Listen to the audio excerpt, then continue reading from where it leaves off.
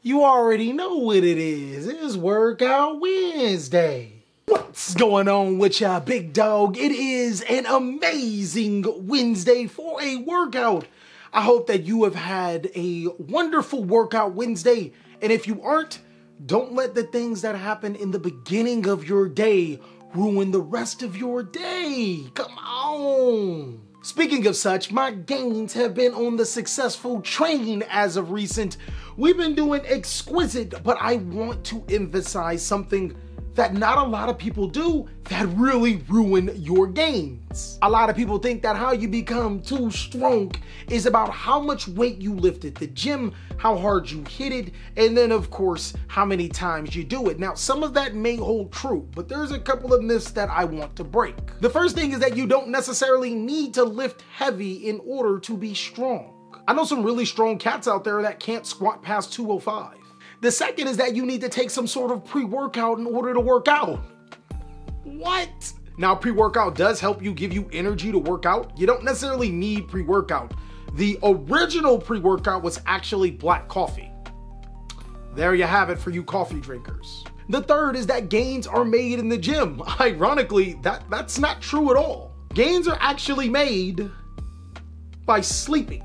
I know it's weird, right? You never would have guessed getting enough rest on top of exercising daily and of course hitting that gym is the most optimal way to get too strong ladies and gentlemen and one thing I want to point out for the ladies that you can never get too buff. There's no such thing, ladies. Lift to your heart's content and lift however much you want. As long as you are lifting safely, resting, and recovery, it only looks badder on you and you only look more attractive.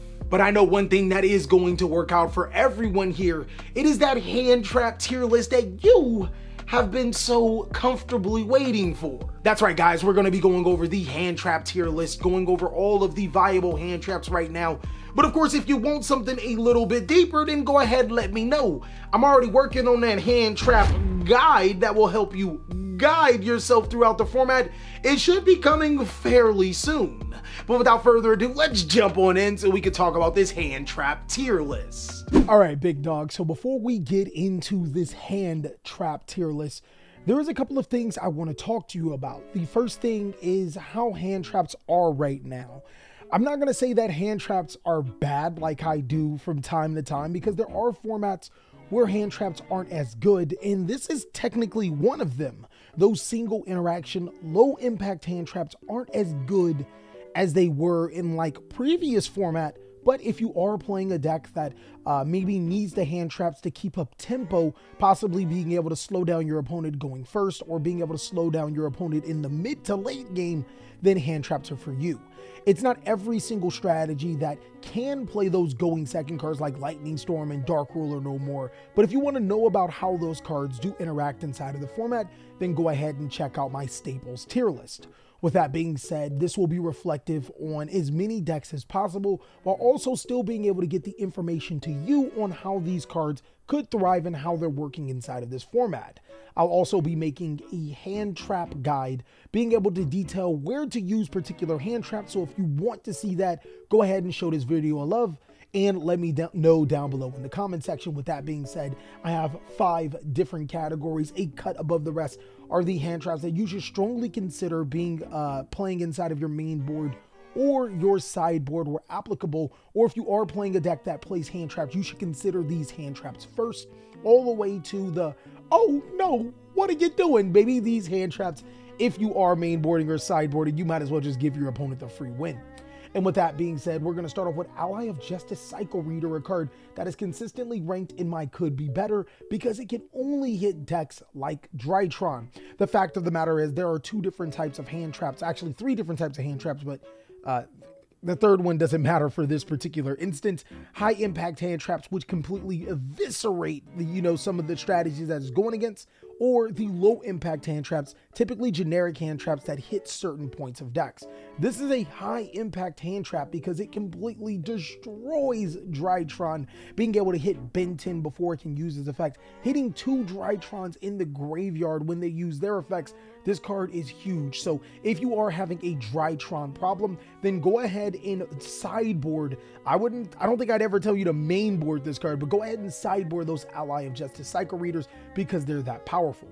Same thing with Artifact Lancea. This card is a really, really good card, but only in the sideboard. I would not mainboard Artifact Lanceas, um, but they're great against Phantom Knights, against Dino, against um, just so many banish reliant strategies like Tri Brigade. If you are having problem with those particular decks, slap these inside of your side deck. Uh, a bonus for uh, Sky Striker players, and some may not know this, is if you have your Sky Striker uh, Mecha Modules multi-role in the field and you artifact Lancea them, you can actually, you know, send the cards that would be banished if, you know, the cards that you set with your multi-rolls to the graveyard because Lancea will prevent them from being banished. They go right to the graveyard and then you can reset them again with your multi-roll. So Sky Striker players genuinely consider uh, sideboarding that artifact Lancea as this could actually even help your strategy put those Sky Striker cards that would be banished back into the graveyard, which could come in handy.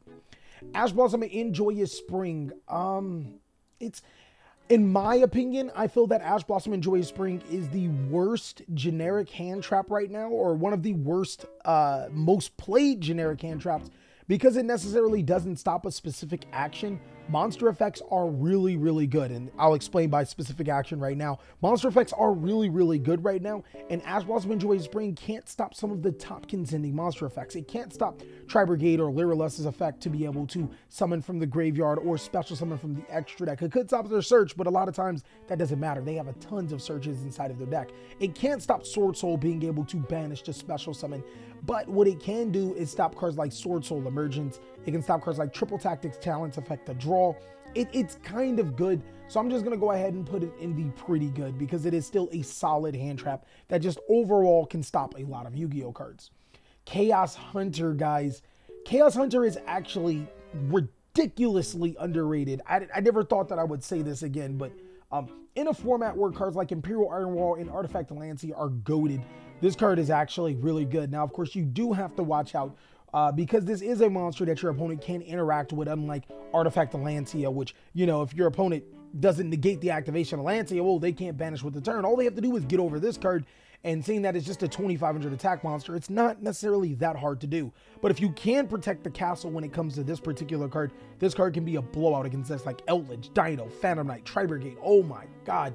This card is really, really good, but you have to have the correct deck to be able to play it. Contact C is a card that could be better in the current Yu-Gi-Oh! And the main reason is because uh, Forbidden Chalice and Forbidden Droplets being such powerful cards in the current metagame, even if you do give a particular deck this card, which could shut them off, they can always Forbidden Chalice it, or even worse, Forbidden Droplets it, which means you just gave them an additional card to use to break your board. And that's why I feel that this card isn't as powerful. Um, same thing point can actually be made about Chaos Hunter, uh, which is why you have to be really careful with this card. Dama Mama. Oh man.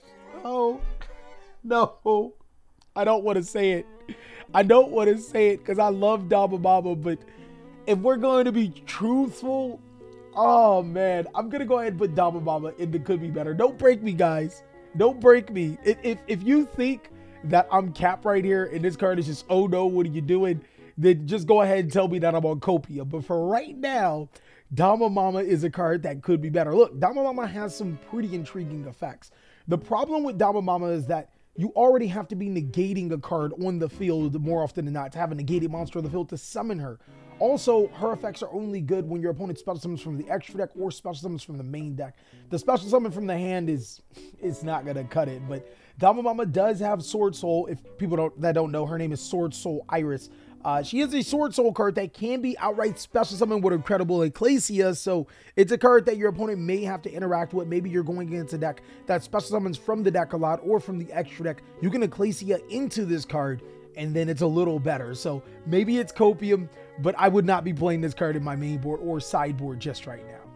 DD Crow is DD Crow is Okay, so I'm gonna put DD Crow in pretty good, and the main reason is because DD Crow is one of the more searchable hand traps, um, and it does have some cool interactions. It's not as good, actually. Let, us let's put it down to the underrated status because it's not as good as Psycho Reader. But if you are playing like uh, Lyrilusc, then you can search this card, and it's a searchable hand trap. You know what I mean? And it can hit some of those really niche interactions, like it can still hit Benten when your opponent does their Drytron combos. Um, it can banish those uh, uh not the the Tenyi monsters in the graveyard before your opponent can actually make really good use of them. Uh, it, it has some very very very specific interactions that makes DD Crow not a terrible card. But I, I don't think that I would be mainboarding DD Crows inside of this format unless I would probably mainboard one inside of like Lyrilusc where you can take advantage of being able to search it. Dimensional Shifter is, if you can mainboard Dimensional Shifter, it is still one of those cards that just wins games just outright. Every I, I, almost every deck in Yu-Gi-Oh needs the graveyard. So opening Dimensional Shifter is literally just say, "Hey, you need to pass your turn so I can continue to play Yu-Gi-Oh." Droll Lockbird is also a card that is just Oh man, this card is another card that's a cut above the rest. And if you haven't noticed, all of the sideboard or all of the hand traps that are a cut above the rest, they're typically sideboard cards are really niche, which is really weird, right? But Droll Lockbird is a card that you could mainboard in this format comfortably because there are so many decks that search multiple times. But if you're not mainboarding it, I would not. It, like it's a it's an amazing sideboard card because as you know, it, it just ends a lot of players' turns. Droll Lockbird is a godsend. And then, of course, as you know, Effect Veiler is a pretty good Yu-Gi-Oh card, just being able to negate uh, Sword Soul boards, being able to negate Ultimate Azoken, uh, being able to negate uh, uh the Diviner of Herald or Mu-Beta Fafnir, uh, a Tri Brigades. It, it just comes up because Monster Negation is low-key king inside of this format. So Effect Veiler's right there. Engraver of the Mark. How you guys feeling? I told you guys Crossout Designator will be a $50 card. Everybody laughed at me. Plot twist, Crossout Designator is a $40 card, and this card looks even worse because nobody's even playing Crossout Designator. So how you feeling about Engraver of the Mark, guys, being your, oh no, what are you doing, baby? Check up on those people that bought super rare copies at $5 a piece, guys. If you were one of those people and you didn't listen to me, it is what it is. But yeah, don't don't do that. That was really bad. Evenly matched is consistently one of the best Yu-Gi-Oh cards. I actually don't even know why it's in here. I don't think I should consider it a hand trap. It's more of like a staple board breaker sideboard type card.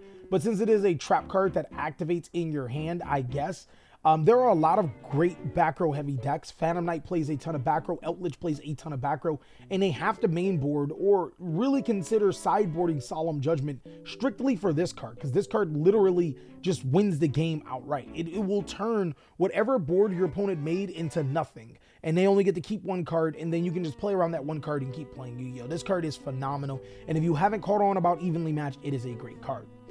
Uh, Fantastical Dragon Phantazmay can be better. Um, it's good against Tri Brigade Pure.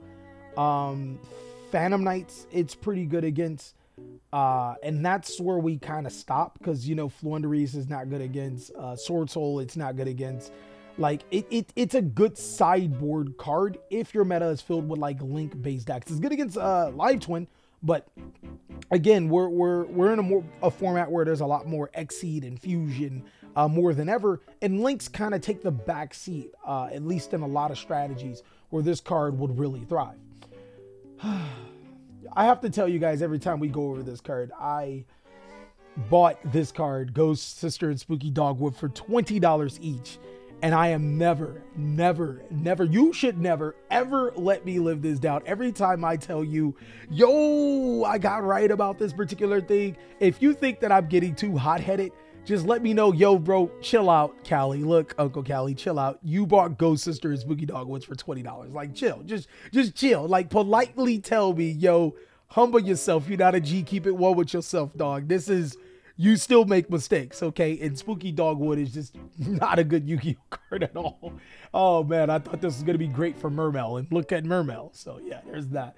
Um, the reason why this card's not good is because uh, gaining life points doesn't mean anything. You know what I mean? Like if you're gonna lose the game, you're gonna lose the game. It doesn't matter how many life points you are, and you should look at it in the inverse. If people are main boarding and have no fear about main boarding solemn judgments then like life points never meant anything. So whether you have more or have less, the only time that it matters is in time. And if that's the case, you probably should just be sideboarding better cards to win the matchup as opposed to relying on time.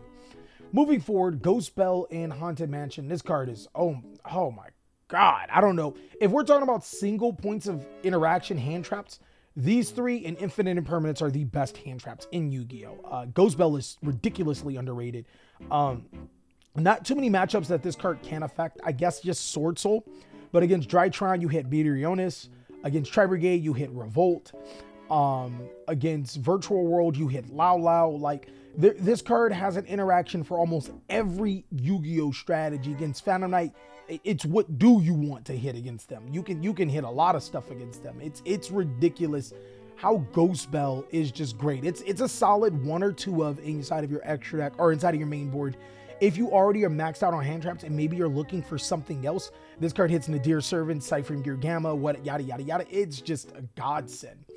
And uh, to be honest with you, this card is fairly good. Ghost Mourner and Moonlit Chill is a monster negation that actually serves as a better dogwood because it can stop the monster's effect that your opponent is trying to lose, use, and your opponent will take damage for using its effect um, which could also come up in time. It has multiple implications. Uh, the reason why this card is so good, though, especially for Sword Soul players, I still think Forbidden Chalice is a lot better. But if they token collector you on your turn, you can Ghost Mourner it and keep playing. And that'll actually start to come up as monsters. Uh, I, I, can feel that monsters will start being summoned on your turn. As we already know, players are starting to summon more monsters on your turn. And you can just Ghost Mourner it and then keep playing. Or Ghost Mourner it, get rid of it, inflict damage to your opponent, and potentially win the game off of that. This card's actually, it's, it's kind of underrated. Uh, Ghost Ogre, you know, I had a lot of hype for Ghost Ogre but Ghost Ogre isn't.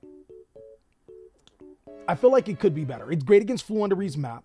It's good against Sword Soul. It's good against Apollousa. But not a lot of decks are really, really playing Apollousa, like not as much as last format. Uh, Sword Soul, if you're going to side Ghost Ogres, you might as well just side another card that we have on this tier list. Um, and against Floowandereeze, I mean, that's great. If you see a lot of Sword Soul and Floowandereeze, then, I mean, shh, be my guest. Go ahead and main board these. But like other than that, it's almost every other matchup that I can think of. It it just feels like it could be better, and you can just play better cards in other situations. Um, I feel weird. It's like this card is actually tweener these two. So we finally found a deck that can play the pot cards. They'll play like dualities and prosperities which means that you can actually have enough room to resolve your Ghost Reapers. Eldlich can play the dualities and prosperities, um, and uh, Floowandereeze can play the El- which means you can actually make this card somewhat better. Now, the problem with this card is that a lot of people are, um, you know, they're they're of course they're extra deck reliant because that's why Artifact Scythe is so good, but they're playing around like like you you actually need something really strong to follow up afterward. If you don't have that strong follow up, they'll just you know play around it for a turn and then just play other things and you're just in a hole. So I do think that this card is like low key underrated, but I'm gonna put it in that could be better. No material, it's it's not bad. The problem with no material is that you can't control any cards. Like if if we get a deck like Nekroz that comes out, like if Nekroz becomes good again. Back when old Nekroz used to end on drawing cards from their hand and no cards on the board. This card is like, it's goaded. But until then, I'm to go ahead and say this card could definitely be better. Uh, Herald of Orange Light, no, no. And same thing with Herald of Purple Light. These cards are still not good by any means. And the reason why is because inside of the deck that, um, you know, would play this, which is Drytron Herald, you just make Herald. Like Herald literally solves the problems that these two cards do too. So it's like the exact same thing. Actually, it's even worse because this has to get rid of another fairy where Herald does not have to get rid of it just only has to get rid of one fairy to negate the activation. And if you're going into a board and your opponent's activating spell cards uh, on your turn from their hand, then I don't know what to tell you. If they have the imperm, they have the imperm. I'm not gonna. I don't think that it would be wise to play Herald of Purple Light for infinite impermanence. If they have it, they have it. You know, if they if they don't, then just make your board. You're gonna win more often than not. And then of course, uh, orange light is the exact opposite of green and purple. This is a card that if you could play it inside of your deck, strongly consider. And the reason why is because I consider this on the high impact side, as it does not only negate a monster effect, it also gets rid of the monster, which is huge. Um, as you can see, a lot of these hand traps, some of the good hand traps, they don't get rid of the card. They just kind of negate the card and then allow you to keep playing with the card, which is a lot of these cards' downfalls. Whereas Orange Light actually gets rid of the card. Uh, Infinite Impermanence is a cut above the rest as well. This is the best hand trap in Yu Gi Oh! when it comes to uh, generic hand traps because this card also acts as a Forbidden Chalice. You can activate it on your turn um, even after your opponent has their established board. I'll give you reasons or a strategy that could be in the hand trap counter or the hand trap guide. But yeah, this card's just really good. I mean, there's no way around it. The uh, column thing actually comes up too uh, for people that don't pay attention to columns or when you want to play that column game against your opponent. Mariota. So, another card that I thought one day, one day, you will look at me, you'll be like, dang, Cali was right. He's goaded. But until then, you can look at me ridiculous when it comes to Mariota and Sword Soul uh, Iris. This card, the theory behind this card being good is that it can be searched a lot more easy since it's a dragon monster. You can Heretic Seal it.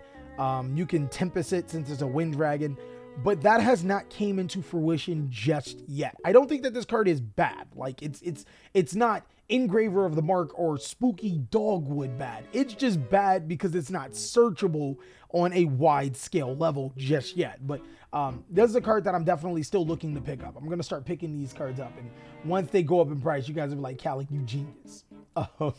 I'm trying. Hey man, I got I gotta I gotta big up myself. If I'm not bigging up myself and I'm spending all this money Oh, I'd be a sad guy. Nibiru is a card that definitely is a cut above a rest. Just like Droll and Lockbird, you can main or sideboard Nibiru. Um, you just have, you're going to pay for decks like Floowandereeze or uh, Sword Soul players that are smart. They're just going to make Chixiao pass or they're going to make Baronne first. And then you're like, well, now you got to use the nib on the Baronne. And they kind of like, you know, still keep comboing. So Nib is just a really, really, really powerful Yu Gi Oh card that allows you to equalize boards. Um, as you can see, there are a lot of hand traps that you could be sideboarding. Not really a lot that you could be mating unless you count Droll and Nibiru cards that you could play inside of your main board, but maybe more suited to your sideboard depending on what you play. Uh, Epsilon does negate spells, but normally those spell cards being used are spell cards to get rid of your monsters, which means you have monsters on your field. So Epsilon could be better. Um, players will start playing Lambda, which I think is going to be really good. Lambda, and once Lambda is played, this card becomes a lot better. Once Lambda does come into rotation, but Epsilon is is, is just just for that sheer reason. Lightning Storm could destroy spells and traps, but I mean, it's, it's probably going to destroy monsters. So this card, it's not bad. It's just not great. On the opposite hand, Cyber Gear Gamma is another card that is a cut above the rest for the sheer reason why Herald of Orange Light is a cut above the rest. Um, these two cards not only negate the monster effect, they get rid of the monster too. Red Reboot, oh man, main board or sideboard, Red Reboot needs to be in your deck. This card is phenomenal. Uh, uh, Phantom Knights, Outlets, they all fear this card. It's like, oh man, if you if you play this card, you might get it. Retaliating C, I'm gonna say this card's underrated because you can retaliating C in response to your opponent's destiny, uh, your your opponent's fusion destiny, and this card. the reason why uh, Destiny Hero Destroyer Phoenix Enforcer is so good is because it's in Dasher and Celestial into the graveyard, and this obviously stops it. Shaddoll Fusion and Invocation are also other really powerful cards that this card stops. Uh, Meteonis Drytron is also another spell card this card does put a lot of uh, uh, uh, on notice of a card. It's it's really good right now. And another card that's severely underrated is Sauravis. I did discuss how Forbidden Chalice is one of the most powerful cards in Yu-Gi-Oh! I don't think Forbidden Droplets targets, but I do know Effect Veiler and Imperm target cards that are pretty much in everybody's deck. So Ravis is sneaky, sneaky good being able to stop those non-targeting card effects. Um, it's it's a fairly good card. Not every deck can play it, but for the decks that can afford to play that Sauravis and stop your opponent from targeting some of your critical monster effects, it, it's it's a sneakily underrated card. Uh, I'm gonna have to say the same thing for Skullmeister, being able to stop Meteonis Drytron, being able to stop uh, your Sword Soul, opponent Sword Soul cards in the graveyard that activate Phantom Knight monsters. That's low key good at certain times. Like this card has its moments where it's really, really good, and then it has its moments where it's just like, oh, okay, it's just a free disruption. Again, if you are playing a strategy that can afford to play a ton of hand traps, uh, maybe don't need, you know, you don't care about targeting, then consider Skullmeister if you've already filled out, which are pretty good in a cut above the rest. And then the last card is Token Collector. I don't know if you know about Token Collector, but it's it's a cut above the rest. This card is literally um, the Sword Soul version of uh, Ally of Justice Psycho Reader. Just because it ends the Sword Soul player's turn, they have to play uh, Chalice. They have to play cards like Ghost Mourner, and you put them on. Hey, yo, do you got it? Like, do you? If you don't, okay, I'm gonna you know, your turn's over. Pass it up. Do you have the? no, you can't. Mm, nope, can't even. No, mm, nope. Pass it up. It's cards. It's really good against them. So, if you are having Drytron, again, if you are having Drytron or Sword Soul, really big problems, consider playing those into your sideboard. Artifact Lancea, we've already named the decks that it's good against. Phantom Knights, Tri Brigade, Dino. Um, any deck that really needs to banish Droll and Lockbird, you know all of the strategies that it's good against. Shaddoll, um, uh, Lyrilusc because Lyrilusc searches out the wazoo. It's just a very, very good card. And then the rest are just really good generic cards that get rid of your opponent from monster effects and Nibiru stops your opponents from summoning. Infinite Impermanence is your fourth, fifth, and sixth Forbidden Chalice. And that is all that I have for the hand trap tier list. One thing I want to get to you is that I am streaming today on Twitch. 4 p.m. Pacific Standard Time, sometimes 5. I'm feeling a little lazy, but it's normally 5. Also, if you want to check out more amazing Cali Effect content, go ahead and check out these videos as I'll catch you on the next one.